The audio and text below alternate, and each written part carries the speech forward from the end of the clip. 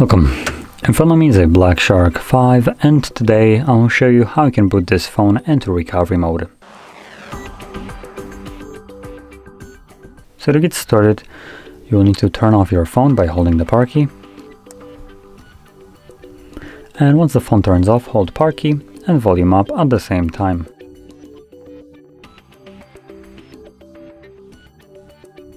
When you see the Black Shark logo, you can let go of the power key, but keep holding volume up till you see the recovery mode.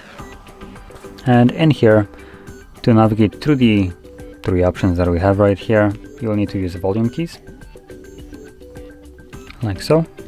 And power key will be used to confirm whatever is selected. Now that in mind, we can reboot the device, uh, perform a factory reset of the phone, or simply boot the device into safe mode.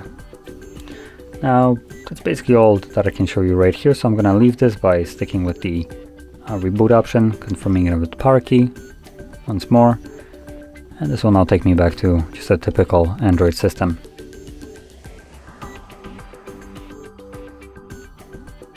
And there we go. So, if you found this very helpful, don't forget to hit like, subscribe, and thanks for watching.